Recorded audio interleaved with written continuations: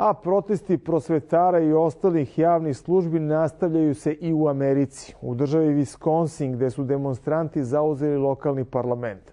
Kakve muke njih muče, a kakve njihovog poslodavca specijalno za oko magazin iz glavnog grada Viskonsina, Madisona, izveštava Aleksandar Žigić. Suština problema u Viskonsinu je na prvi pogled vrlo jednostavna i naliki na nešto što se može videti i u drugim zemljama. Reč je o borbi zaposlenih za očuvanje plate i drugih beneficija, pre svega zdravstvenog osiguranja i penzija, i sa druge strane državne administracije koja tvrdi da zbog budžetskih problema mora da pravi rezove. Analitičari međutim kažu da ishod borbe u Wisconsinu može da ima dugoročne posljedice na to kako se politika u SAD-u vodi dugi niz godina. Ovo se smatra testom koji će pokazati da li će sindikati opstati ne samo u Wisconsinu nego i širom zemlje.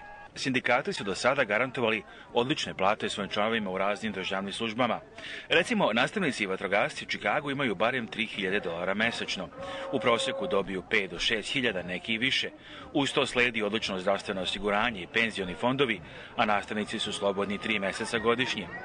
Wisconsin, međutim, ima budžetski deficit od preko 3,5 milijarde dolara. Ekonomisti kažu da se do ove situacije došlo zbog najveće ekonomske krize od velike depresije i nespremnosti političara da prave budžetske rezove. Protesti ovde u Madisonu, u Wisconsinu traju već dve nedelje. Međutim, upravo u trenutku kad smo došli snimamo pre oko sat vremena, zatvorena su vrata Skupštine za daljnji ulazak građana i upravo zato se oni skuplju u trenutku ispred vrata.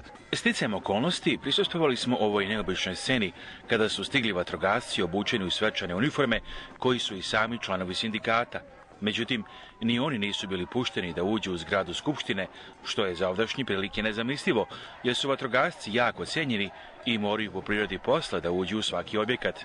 Građani su uzvikivali, pustite ih unutra, ali su se policajci držali naređenja da demonstranti ne mogu da uđu u zgradu. To je verovatno bio i jedan dodatni pokušaj organizatora protesta da se iskoristi sentimentalnost prema vatrogascima, ali nije imao taj efekat. Recite nam šta se dešava ovde u Madisonu, u čemu je problem? Problem je što guverner ne pregovara sa građanima koji žive u njegovoj državi. Pobedio je sa većinom glasova od 52%. Misli da ima mandat, neće da razgovara sa ovim dobrim ljudima ovde. Neće čak da nas pusti ni u zgradu. Ovde smo da se borimo za svoja prava sa našom braćom i sindikata. Ima još delova ovog zakona koji nisu fair. Šta će tek uraditi sa medicinskom negom? Mnoge žene, dece i starije osobe ostaće bez zdravstvenog osiguranja. To je nepravda i mi moramo da se borimo protiv nje.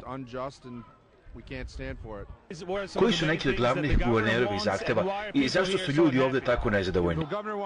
Guverner hoće da da novi kolektivni ugovor sindikatima. Pristali su na ustupke u planu za plati i penzije, a ljudi ovde su nezadovoljni jer guverner neće ni da nas udostoji razgovora. Ovo je centar napora radnika širom zemlje, želja da im se vrate prava, našoj srednjoj klasi, da ovo bude poštovana profesija. 2% super bogatih drže 90% novca. U ovom trenutku je neizvesno kakav će biti ishod protesta ovde u Madisonu u Wisconsinu, ali je činjenica da se oni pažljivo prate ne samo u Wisconsinu, nego i širom Sjedinjenih država. Specijalno za RTS iz Madisona u Wisconsinu izveštava Aleksandar Žigić.